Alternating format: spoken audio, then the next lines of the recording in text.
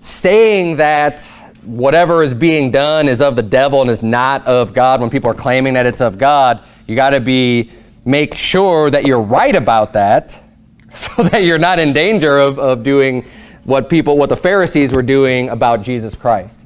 Now, like I said before, I have zero doubt and no qualms about just publicly condemning the, the charismatic Pentecostal movement and they're fake speaking in tongues because it literally is of the devil. And I believe that the people who are actually doing that, that aren't faking it, because most of them are faking it, you talk to people who come out of those movements and they're like, yeah, we, you know, they just want to do what other people are doing. They want to look spiritual too, and they fake it.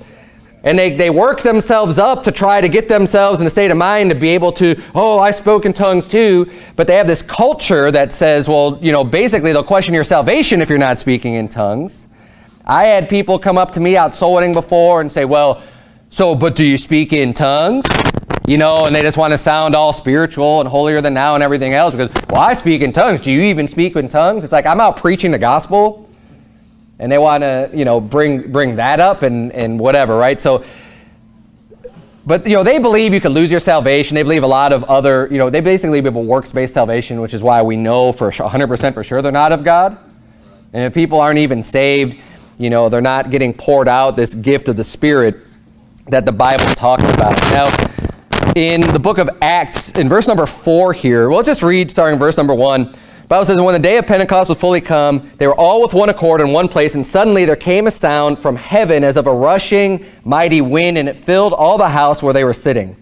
And there appeared unto them cloven tongues like as of fire, and it sat upon each of them. So this is obviously a very special event that's happening right here. And this is the first time that we see anybody receiving this gift of being able to speak with other tongues. So the church is kind of gathered together here in one place. All of a sudden, there's this, this rushing, the sound of a rushing mighty wind, right? So it's kind of like the place that they're in is just um, obviously being, being filled with that Holy Spirit, and, and it sounds like this mighty wind coming in. And then they see, they appear cloven. Cloven means they're split, like these split tongues that looks like fire and just kind of rests or sits on each of them. I don't know exactly what that would look like. I mean, we, this, is, this is the information that we have, but it's, it's kind of like maybe a, I mean, uh, an apparition, sort of, like a, like a tongue that's split and, and fiery. I don't know. But uh, this, is, this is what we see happening here. And then it says in verse number four, and they were all filled with the Holy Ghost and began to speak with other tongues as the Spirit gave them utterance. So what's happening here then is now they're able to speak with another tongue. And what is the Bible talking about when it says they began to speak with other tongues as the Spirit gave them utterance? Look at verse number five. And there were dwelling at Jerusalem Jews, devout men out of every nation under heaven. Now when this was noised abroad, the multitude came together and were confounded because that every man heard them speak in his own language. So in verse number four, it says it began to speak with other tongues. And in verse number six, it says every man heard them speak in his own language.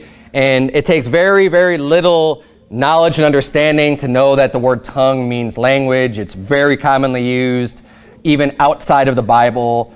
You know, I, am not going to spend my time just completely proving that, but we can see it clearly even in context here. When they were speaking with other tongues, people hear them in a language. So that's all it means. And it says in verse number 7, And they were all amazed and marveled, saying one another, Behold, are not all these which speak Galileans? So why were people kind of freaked out like, what in the world is going on? It's because everybody that was speaking with these other languages and people were hearing them speak in other languages, the people who are doing the speaking, they're all just from Galilee. They're all Galileans.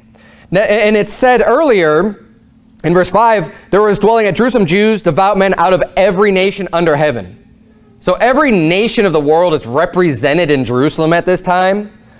And every nation, you know, different nations have different languages. And people, even the devout Jews, you know, they're living there. Many of them were probably raised in other countries. Even though they're devout Jews, they, they make a trek back to worship, they, you know, for Pentecost. but they're still spending their life and their time out there. And many of these Jews probably don't even speak Hebrew. Maybe they don't speak, you know, whatever languages. We don't know what they what they speak, but they know their own language. These people are starting to speak, regardless of how many languages they do speak. When the Spirit gave utterance to those that were given this gift of speaking with tongues, the people hearing them heard in their own language. Their own language, the language from their native tongue, where they were born, where they're from. They're starting to hear them speak, and they're like, how do they know that language, right? I mean, they're all just from here in Galilee. What, what do they, how is it that they know all these languages? So it's a miracle. They, they had no, and they didn't know, it's not that they all studied right before the day of Pentecost, right after Jesus resurrected, and now they're going to learn all these languages. This is supernatural. That's why it talks about the cloven tongues resting upon them, and they were able to speak in language they didn't know. Verse number 8 says, And how hear we every man in our own tongue? So again, verse 6 says they heard them in their own language, and then verse 8, we hear them in our own tongue. It's being used interchangeably. There's no, no difference there. But see, because we don't as commonly today say tongue, tongue, tongue, we say language when we're referring to someone's language it adds a little bit more of a mystery to it, to the ignorant, to the people who just don't know any better. So that way when we say, oh, but do you speak in tongues? It's easier to get away with false doctrine with words that are not as commonly used today as they were back when the Bible was translated in English. So same thing with, um, you know, repent.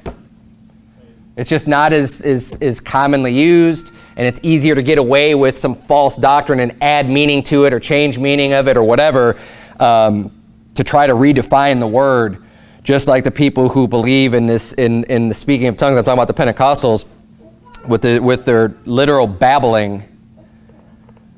That is not another language. It's just gibberish. It's nothing. And they'll claim it's just another language. We just don't know what the language is I mean, I could stand up in here and go, oh, you know, and just make a bunch of sounds and noises come out of my mouth. And be like, Pastor Berzins, that's not a real language. I'm like, yes, it is. You just don't know it.